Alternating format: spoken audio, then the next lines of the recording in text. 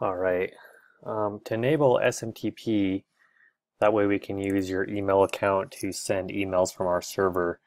Um, you actually have to enable it from inside of your Gmail account. So you're going to make sure you're logged into the Gmail account that you want to send the emails from. And so I'm going to go ahead and type in gmail.com. I'm already signed in. It's going to log me in here. Um, we're going to come over to settings. And then we are actually going to click on settings. And then only tab you need to click on, it's going to say forwarding and POP IMAP. Go ahead and click on that.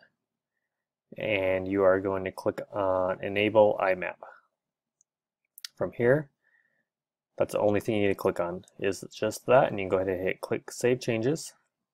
And then there's one more change. You need to come right in here and you need to click on my account. And you're going to do sign in and security. And just scroll all the way down to the bottom. Let's see. And it says allow less secure apps off. You want to go ahead and check that to on. And that's all you need to do. Um, once you enable that, you can go ahead and um, go to your website and enter in um, the required information for the contact form so you can send out emails from your website using your Gmail account.